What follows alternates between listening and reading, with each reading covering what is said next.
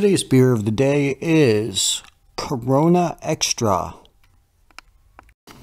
Okay, let's see how this looks. It's very light colored. And there we go. What up world, is Tony Recluse and you're on my vlog. This is vlog number 34. Like Thurman Thomas if you're from New York, or Walter Payton if you're from Chicago, 34. Today's beer of the day is Corona Extra. Let's give this a try. There it is.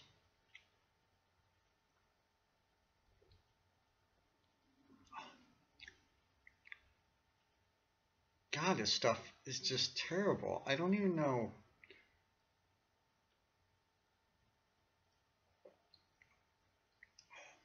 It's a very malty, very malty taste. It's almost like malt liquor.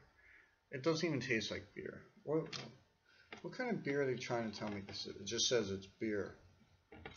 It doesn't say it's a Pilsner. It doesn't say what kind. It's, it really tastes similar to, it's kind of a lighter malt liquor taste to it.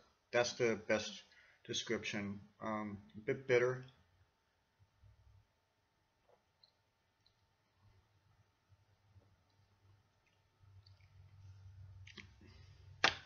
So yeah, I'm not a fan, but a lot of people love it. Hopefully it's not just because of marketing. Anyway, uh, so that was the beer of the day.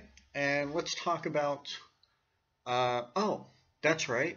So this episode is basically going to be all about my trip to uh, Vero Beach and my trip back. So let's uh, go see what happened. It starts off in St. Augustine, Florida, the, uh, uh, the parking garage downtown. So let's go to that. Okay, so right here is the Greyhound stop. Waiting here in this creepy ass bus stop at 5.30 in the morning. And it's spooky as fuck. I don't even want to talk too loud. I hear pigeons and birds, but I don't know. Anyway, um, that's that. And yeah, I'll be on the next stuff, talking louder. Out. So yeah, that was the bus going from St. Augustine to Orlando, and it was uh, wasn't bad. wasn't as bad as you'd expect. You know, um, you know, you get there eventually. Uh, you read your books. You know, try to people watch maybe for entertainment, but that's pretty much uh, yeah. It's like anything else.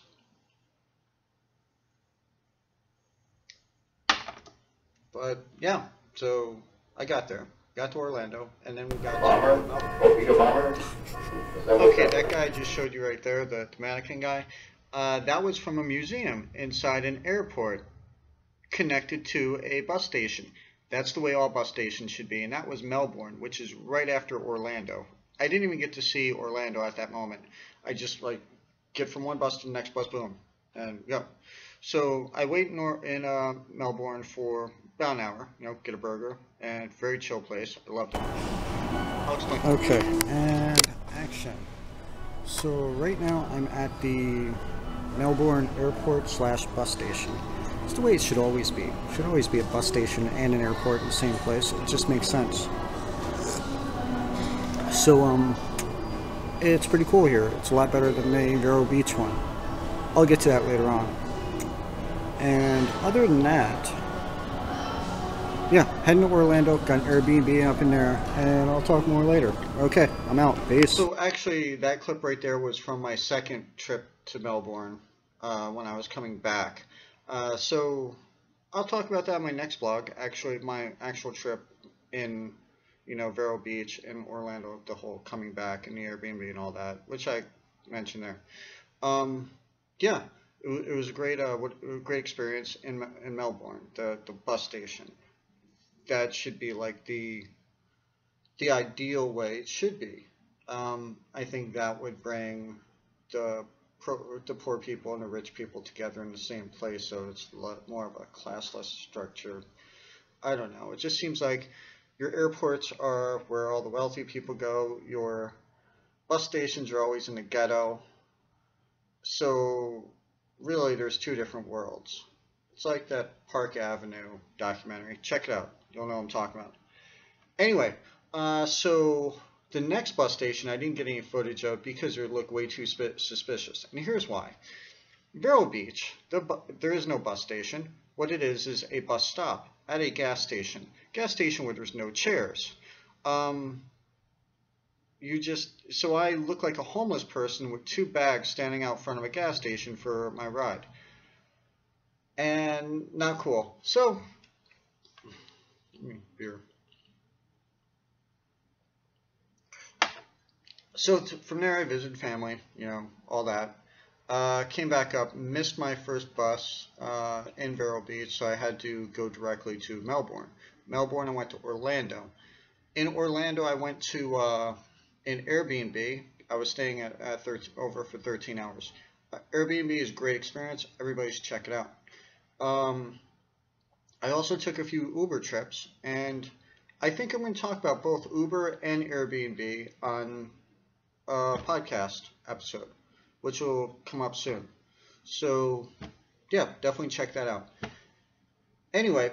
Okay, so real quick, I just got off the bus. As you can see, not as spooky as it was when I started. It's 7 a.m. now, and I'm back. uh, it was a trip. I'll get into it more later on. I'll have beer, and I'll talk about the trip. Alright, I'm out. Yeah, I was freaking exhausted it was a crazy week. It was three days. Three days of, and probably one full day of actual travel. I made sure to get a beer, a few beers, five beers possibly, at the uh, Miller's Ale House. Very good place for uh, lobster tail too. Anyway, uh, you'll have a great day, and I'm out. Peace.